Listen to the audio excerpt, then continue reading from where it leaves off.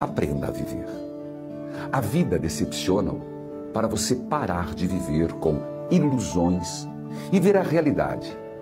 A vida destrói todo o supérfluo até que reste somente o importante.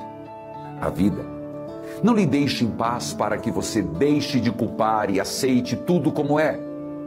A vida vai retirar o que você tem até você parar de reclamar e começar a agradecer. A vida envia pessoas conflitantes para lhe curar, para você deixar de olhar para fora e começar a refletir o que você é por dentro. A vida. A vida permite que você caia de novo e de novo, até que você decida aprender a lição. A vida lhe tira do caminho e lhe apresenta encruzilhadas até que você pare de querer controlar tudo e flua como um rio. A vida lhe assusta e assustará quantas vezes for necessário, até que você perca o medo e recupere sua fé. A vida encurta seu tempo para você se apressar em aprender a viver. A vida lhe acorda, lhe poda, lhe quebra, lhe desaponta, mas creia.